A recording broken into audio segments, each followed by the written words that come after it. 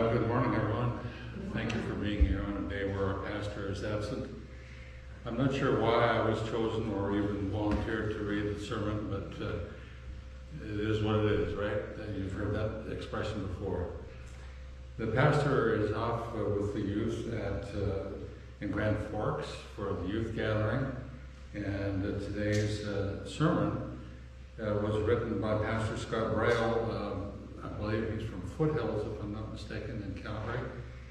And it has to do with their gathering, more or less, and all the things that affect us as well as a result of that. Our text for mediation, uh, meditation, and the theme verse for the youth gathering in, Fork, in Grand Forks is 1 Peter chapter 1, verses 3 to 5.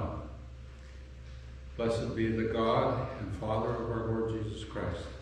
According to his great mercy, he has caused us to be born again to a living hope through the resurrection of Jesus Christ from the dead, and to an inheritance that is imperishable, undefiled, and unfading, kept in heaven for you, who by God's power are being guarded through faith for a salvation ready to be revealed in the last time. now, just before I start reading the the prepared text here, uh, I just want to say that um, most of us, in some form or other, have had experience in youth gatherings in our church, and uh, for myself as well as some others of you, it's been a great blessing to have had a, a grounding of our faith in the youth programs that are so important to us. And I know that, uh, for example, Adele Yeager helped very much when, at the time when I was uh, growing up through this church. Now, it hasn't necessarily made me a better Christian because I know that as sinners we have a lot to, to struggle through as we go through life. But uh, anyway, here goes. Now, no one knows what tomorrow holds uh, except God, of course. He knows that even an eternity from now, we who believe will be living in Christ. We make plans, for sure, thinking we ought to do this chore, hoping to do that hobby. We know what must be done, but even the most urgent of agenda items is still entirely tentative until it has come and gone, checked off of our to-do list. Because life happens entirely on its own, apart from our plans and intentions. We can neither predict what tomorrow holds, let alone truly prepare for it. The world tries to sell us a cure to everything that would come our way and ruin our day. Do this diet and exercise routine to reset your body, ensuring it is able to carry on strong in spite of aging and illness. And those of us who are aging certainly know what that is all about. Reset your daily schedule to this regime uh, to give you the foundation to become your best self, taking control of your time so you can start your business. Learn these communication techniques to get through any conflict in your marriage, with your boss, with the Parent Teacher Association.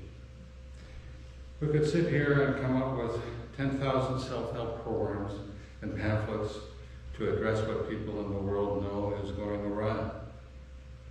We all see the cracks in our relationships, in our bodies, in our ambitions, in our lives.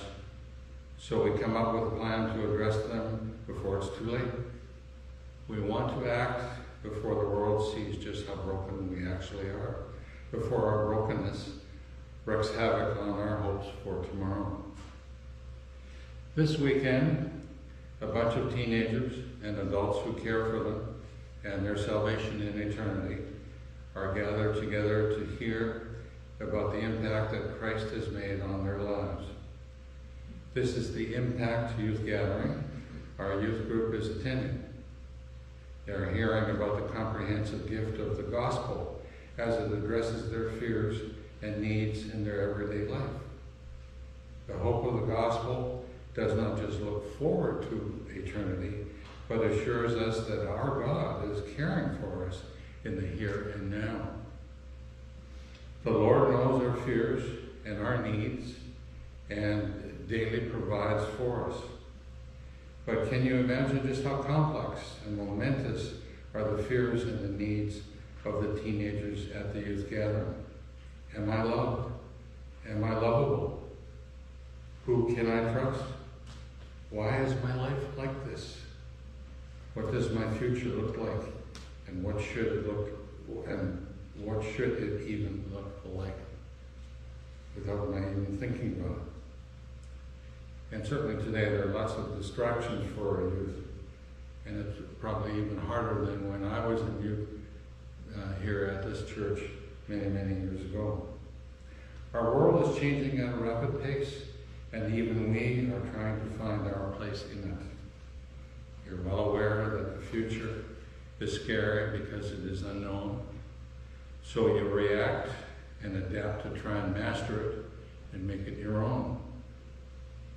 You lived through your rough teenage years only to find out that very little changes. You survived this time, that change, and every subsequent big decision and little decision that gave you fear, only to realize that tomorrow never becomes certain. Your sin and weakness get into the fray and mess up all you hope for. You can even end up enduring the consequences of your choice of words and actions for years. And if it isn't your own fault that the future doesn't pan out, the world will ensure it makes its mark. The ideas, sinful or otherwise, in your life will influence your coming days. The chaos of a broken, certain, sorry, the chaos of a broken creation will change your future. Try as you might, your days, as close as tomorrow, as distant as eternity, are not in your hands. But Peter, in the gathering's theme verse, promises a future.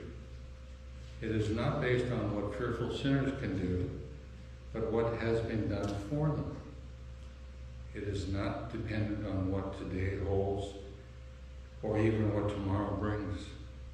Our salvation is flowing out of the past from what Christ has already accomplished.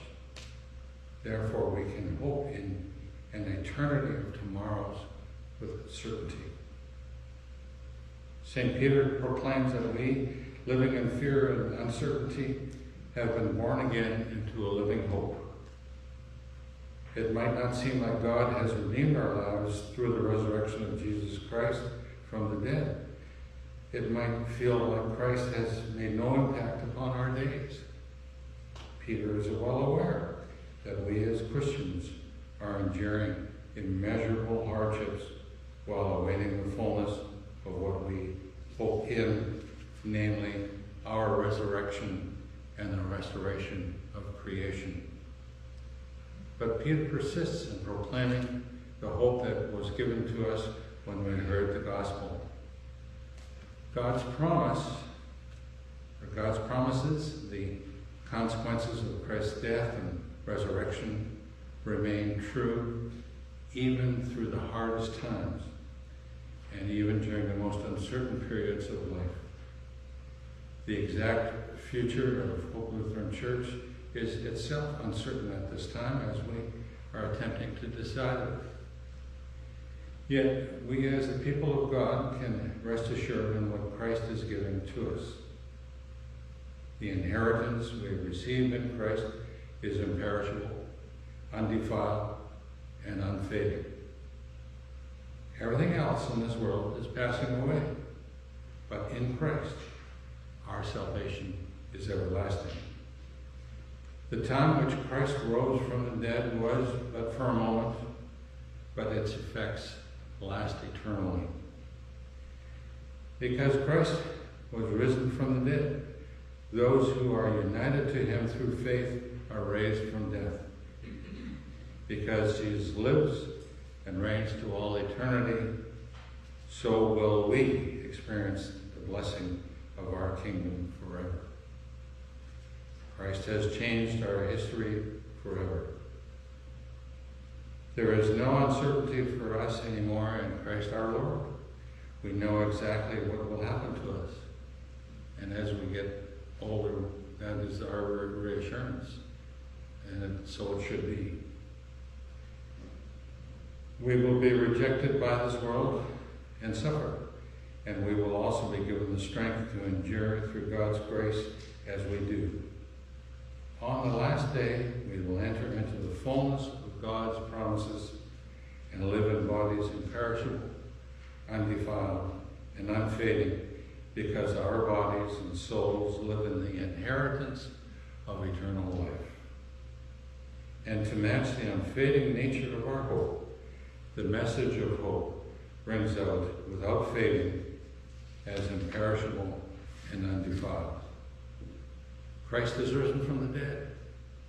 And those words, if you, if for those, I'm going to deviate for a second here, but if you remember the crowning of King Charles III in Westminster Abbey and the Bishop of Canterbury saying, Our Christ has risen, and 2,500 people saying, He has risen indeed. That was a powerful message as to what we believe in. Amen. Let this be preached into our ears over and over that He has risen and to keep our hope present in our minds and the minds of our congregation's youth. God gives and guards by His own power through His Word. It's not up to us, but the one who is Almighty. Therefore, never let, let us never make worldly gifts into distractions from our true hope in Christ. Nor may we let the world give us uncertainty in Christ's resurrection. Christ, who is imperishable, undefiled, and unfading, is guarding your inheritance of an imperishable, undefiled, and unfading salvation. Our Lord even guards your faith and will certainly do so until the last day when he returns you receive that for which you hope. The forgiveness of your sins, the salvation won for you on Calvary's cross, and the eternity with your triune God is assured for you because Christ is raised from the dead. In his name.